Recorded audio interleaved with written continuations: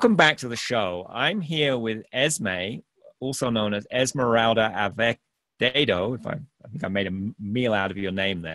we'll That's just, okay, Acevedo. Acevedo. And uh, she is going to be talking about content box themes. And she is not only an amazing graphic designer, she's also a Cold Fusion developer. And she learned a lot about SQL and Cold Fusion and ColdBox and JavaScript and goodness knows what else so that she could create amazing themes uh, for Content Box. And some of the ones that come bon- bundled with Content Box, she created. So we're going to be talking about how she did that and the important thing in theme UI and how she how you can create an amazing UI and what difference that makes. And we'll look at some of the creative things she's done with themes, not just your regular theme, but things that are a different way of presenting information. And how you present the settings to the user makes an effect on the usability. So, welcome, Esme. Thank you for having me. So, you started out being a graphic designer and then you started working with all this content box and other things at Ortus, and now you've learned a whole bunch of Cold Fusion as well. Yes, yes. Actually, um, my first experience with ColdBox and Content Box it was my senior project for school, and I had to crash course it because I didn't really know anything much about it, and that's how I came introduced with it. I read so much documentation. Thank goodness uh, Luis had it um, posted up there, and from that I developed my senior project. And within a week, I had it going. And this is somebody that didn't know anything about it. So yeah, that's uh, great. And being that little I had of cold fusion knowledge, I it helped me understand what was going on. Cool. Yeah, yeah I mean, I, I think cold fusion is pretty easy to learn. Uh, for someone who's coming from design background who knows HTML. Mm-hmm. So it's a great way to get into it. Yes. And now you know both sides of the, the thing. You know the, the coding side and the design side. So that's a very powerful combination. Yeah. Uh, well, first uh, I used I was uh, only doing the design, and um, my layouts, my basically is like, okay, I will hit design and I pass it on to the programmer. But sometimes when I was not getting my design looking like what was on the JPEG. I like, so what's going on here? So that's what drove me to go learn that. So yeah, and just that. Then I became. I then I started doing the not only the design, but also I started building the site itself, like the UI of it. So that's um. Uh, it was a good transition there. So now I know both sides of it. So when you're building a theme, what what is important in you know to consider when you're creating a theme for content box? Well first the um the one thing I, uh, right now i mean that everything's mobile also i want to make sure it's responsive. So i had to make sure um, my the css the, lay, the layout itself it's responsive. Uh, then i had it would be easy to understand easy to use easy to apply. So that's when i develop it. Um, the settings if there are multiple settings for example one of the themes has a slideshow or a news feed social settings not everyone wants that so i have to make sure it's like i give them an option to turn it off and on or even also the aspect of where placing the picture is it going on the left and the center on the right so that's are just um, just my purpose is just basically making it easier for the user mm. and giving them, a, giving them more options than just having a basic header and a footer and just the middle section for the content. Yeah, yeah, because that would be a pretty boring theme if you did that. Yes. yeah. So uh, I mean, there's a lot of uh, right now. Um, the main thing uh, one is making sure it's responsive because you want your mm. your website to be. And for people who haven't done responsive design before, that means it resizes automatically and in smart ways, and the widgets move around and. Yes. Or, yeah based on the screen size and also i mean um, the ones i designed for Ortus, the for content box there are five of them and they're all based on bootstrap so mm-hmm. basically mm-hmm. it bootstrap's tied in in that so therefore the developer that picks it up could actually customize it or continue using the you know the, the css from there mm. so when you're doing you said you you have different options in the ui people can turn off sections or or whatever. And this is in the user settings. So they don't have the end users who doing this doesn't have to know how to code. but you have to write a bunch of code to make that happen. I'm guessing. Yes, and it's really simple. Using the um, themes CFC, that's where you add your your settings. And now what the new release has also is grouping, meaning that before they were just um, there was no way let's say for example in one section i have a, um, a picture and to turn off and on colors and all that.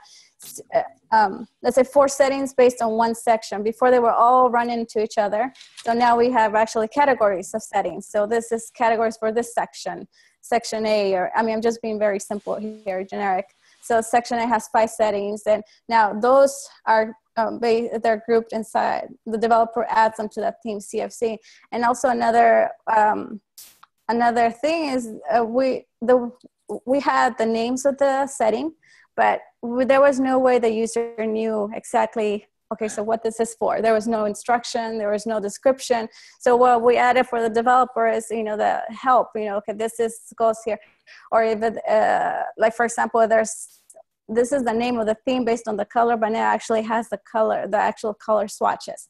So now we have a modal uh, window too, to for the developer to add a, a more, in, in, you know, more um, detailed description of what that setting does.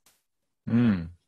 And that makes it easier for the developer and also easier for the people, for the, the content editors. Yeah. Correct. Yeah, and um, I think believe is in the next one there will be. Uh, um, where they could actually select images from the back. So we're still working on that.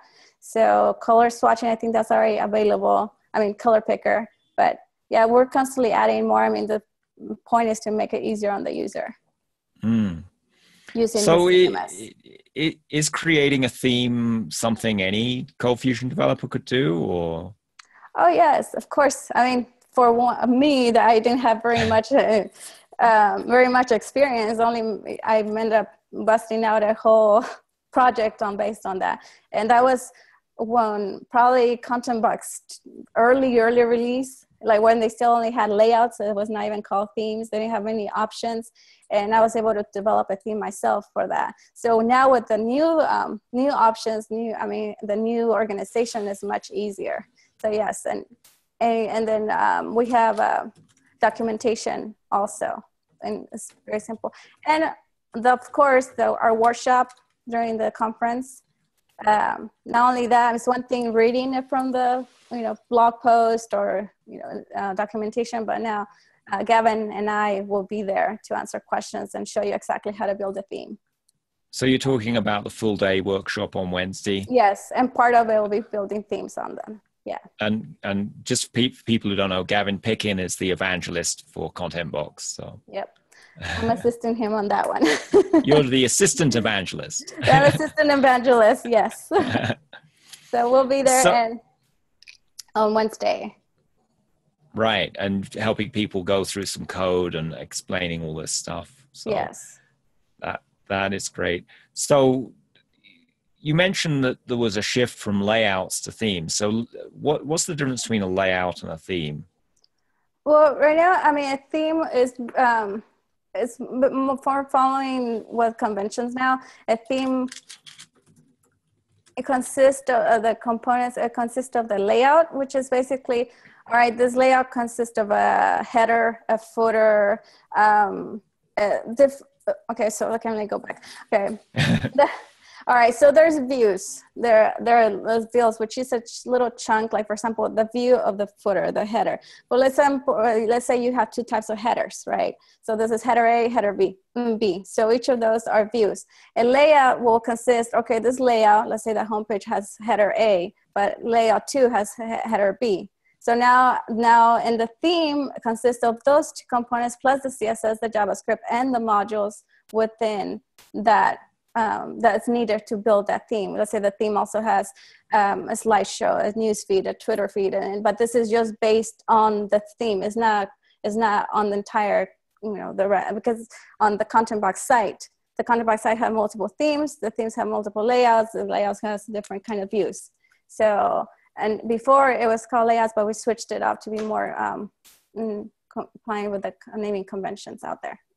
Mm-hmm. Right, because things like WordPress have themes where Yes. there's hundreds of different ones people can download, and, Right. and I guess this you want the same idea with Content Box that you and other people in the Content Box community create themes and and share Yeah. them out or make them for sale. Yeah, you know, layout also has a sidebar. Maybe a layout has a you know a left bar and a sidebar in the middle. So that's what basically we left. The, that's the layout itself. So that's the difference between layouts and themes now. Mm. And you mentioned styles in there. Is that part of themes, or you're talking about CSS styles, or Yes, well, that's what will make the theme. You know, for example, we have a color. Uh, let's say this theme is called Earth. I'm gonna bu- I'm gonna use it because I'm an outdoorsy.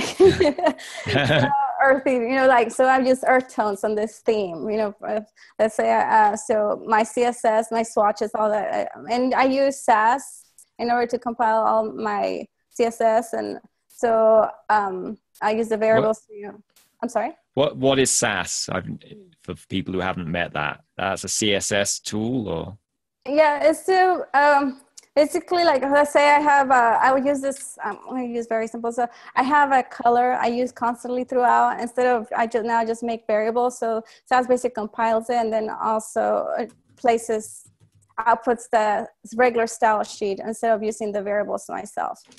I mean, Oh, okay. so that's Right. what I mean by that. So, um, um, but that's what I use. So basically, I pick my colors um, for that theme. Uh, let's say font styles, um, any dimension, any sizes. Uh, so that's what is, I use the style. That style sheet is for the that theme. So yeah, that's a very important component of that theme itself. It makes it, it makes the look. So and that's where I specialize in. right? And you know, the look makes for better usability. I'm assuming. Yes. Exactly. So And also, Yeah. of course, you use the CSS to, you know, use your uh, media query. So, like, say, I use this set to target the mobile, um, the certain resolution, this, uh, this other, this other set for that. So, yes, that's what, that's very important. the style sheet part of the theme. Mm. And then if you wanted to change from one theme to another, is that you you just change out the theme or do you have to do other things because it's connected in with the code somehow? No, it's actually very simple to switch it off. Um, you go to if the options and content box, you have active theme, which is the theme that you have. And let's say you want to have another themes uh, you download from ForgeBox. Um, then you go to uh, themes and either you already have it there or you actually download it from ForgeBox and you just switch themes. There nothing is tied. Everything's uh, on its own, comp- I mean, everything's and like external and it's its own box. So um, you deactivate it, uh, nothing stays, uh, then you could activate the next theme. So it's that simple, just selecting So it's it. kind of right, it's plug and play. You just Yes. pick the new one and it picks up all the new stuff. exactly. And then where where do all those theme settings get saved? You know, you said you have settings that turn features on and off, but where's that? If you change out a theme in and out, where where's all that info s- stored as to what how the theme is configured? So in the database, it's stored, it's stored, but it's following the theme name. So let's say, for example, um, well, the content is separate, but the settings themselves, they're saved in the database based on um, the theme name. So like that, there's no conflict. Right. And then for the settings, do you, do you have to set those by hand in the code or there's a UI or how does that work with a theme? Well, the developer will set them up in the th- theme CFC. hmm Yeah, and then um, based on uh, there's a code used. Let's say I want to use a setting on the on the homepage, then I set it up on the code for the layout or the view, calling that specific setting. mm-hmm. Yeah. And you you design the UI for those settings. So I what have you done to improve the UI for those things? Well, right now the um, the major part was organizing the theme settings and giving giving the instructions and um, the help for the user. So um, that was the major part that we did, and also right now it's the the what we're hoping to have uh, next is the where you could pick uh, images from the settings. Mm. Right now, Okay. right right now, what we have is basically you have to actually put in the URL instead of actually selecting it from the media. So we're working on that. Hmm Are, are there any other things that makes for an amazing theme UI? Um, the artistic, the artistic part of part. it, the artistic part. Uh, no, um, but, I mean, the, my process is basically first I set it up and let's say, and um, what I usually use the fireworks or Photoshop, right? And then from there, you know, that's uh, okay. So that's why I come up with the layout. And then from there, let's say I want, you know, each each each one is a component. I break it apart, and then from there, then I use this the CSS to set it uh, to say, okay, so I want these options. And let's say, for example, I want the I want to give the you actually I did it with a few I, all of them. I gave them different colors. Um, I I gave uh, different color swatches. So for example, I uh, one's one is uh, blue, one is uh, green. So on the settings, I say, okay, what, how do you want your color, your header? What color do you want for your header? So they they could change it um, based on that setting in the back. So now, I mean, of course, as uh, the developer could add different colors or different settings to use different uh, CSS uh, calls on that. Uh, but the user only has to say, okay, I want green, I want blue. So uh, Mm. it's easy for the developer to add them. It's also easy for the user to set them up. What else do you like about themes and content box? It's well, one first of all, it's so easy to set up. That's one major thing. Um, also, I do like uh, the fact that content store a, you could store different content without using data the database uh, yourself. You know, you set up like for example, then I want a news feed, so I set up a category called news and the content, and then myself by building my themes, like I could say I want this category to show up on this theme. So that's why I love the fact that I don't have to go and you know do the programming myself. I could just do it by by calling the content store. Mm. And I, you know, I've read that there are also modules you can add to themes. Yes, yes. Um, a module could actually have widgets. So, uh, for example, for Content Box CMS.org, I ended up doing a module which um, stores uh, and which puts a widget that adds a uh, animated GIF on there. That's how simple it is. So um, this module. So now you could add an image and it's, it puts it an animated GIF on the page itself. But this module itself is only for that theme. It won't be, uh, if they switch themes, it won't be there. So um, mm, the mod, so what I'm saying is like, if you want just something specific for this theme, it, you could just build it for that and package it to show up on your theme. Hmm. And I hear that there are also events in themes. Why would you want to use an event? Well, Well, for example, um, one of the themes I did, I, uh, I, had to uh, back to using the content store. I needed to, I needed an, uh, I gave the option to the user. To, you want this image on the left or on the right, right? So then I had to set up a, uh custom field in that content store P, uh, entry, left, right, basically saying image position left or right. So instead of having the user add the custom field to the category of the contents that that in those entries, what I said, okay, on activation of the theme of this theme or build um, set up set up the custom fields. Basically, Content Box did it on for me on that on that event. that sounds powerful to have um, Yes. because you don't have to like go in and change the, the code in the core of ColdBox. You can hook into those events. Exactly. So it like when it's listening for events, and I want this code there, so it's inserting it there without.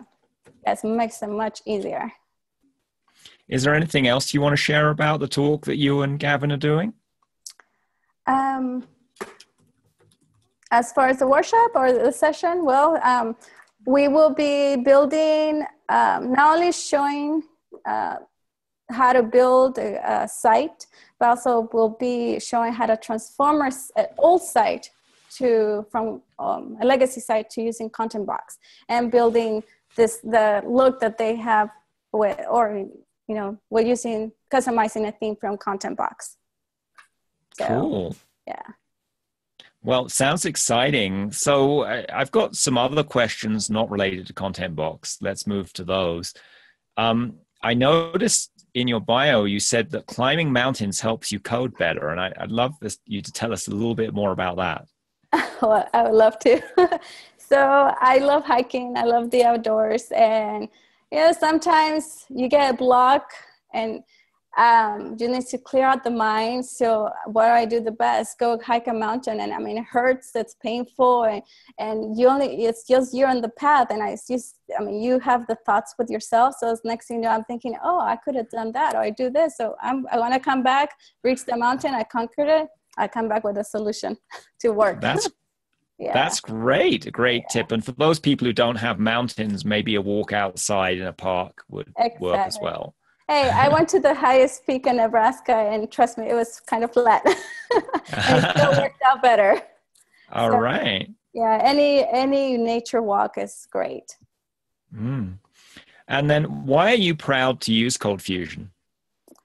Well, it was easy uh, for me to pick it up. I, and actually, I was uh, right out of school, and I was hired by a company that had was programming Cold Fusion. And I have tasted PHP, but I, I keep coming back to Cold Fusion. It's just so, uh, it was very easy for me. And now that they added, uh, was had CF script, that was um, more like, um, and also since I had the object oriented, now they're gearing more to that side. So I really like it, the fact they have components and it, it's just, um, I was more familiar with it.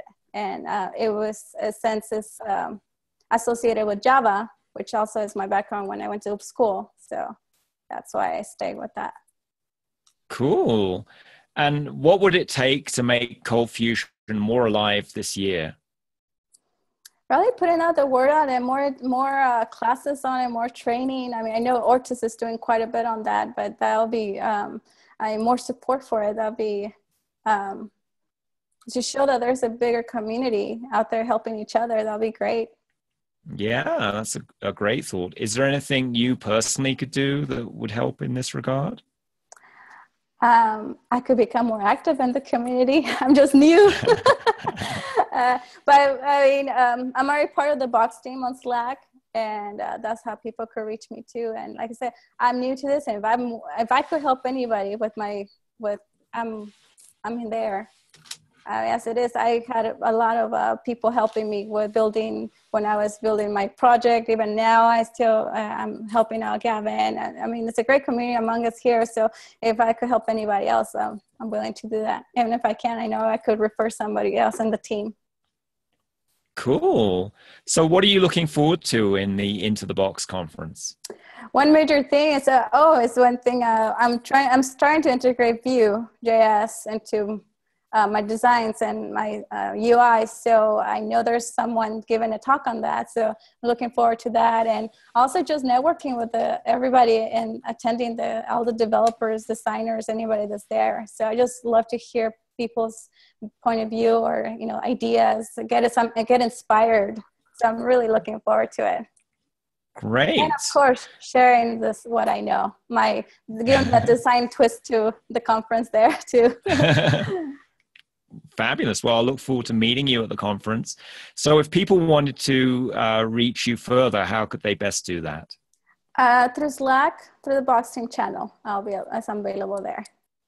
I okay. I don't have a Twitter yet, or uh, LinkedIn yet, but there's a um, uh, Slack will be the best right now. Fabulous. So, Box team. Well, we'll the Box team on Slack. Well, yes. we'll include the URL for that in the show notes. Thanks so much for telling us all about themes and Content Box, Esme. Oh, you're welcome. Looking forward to meet you too.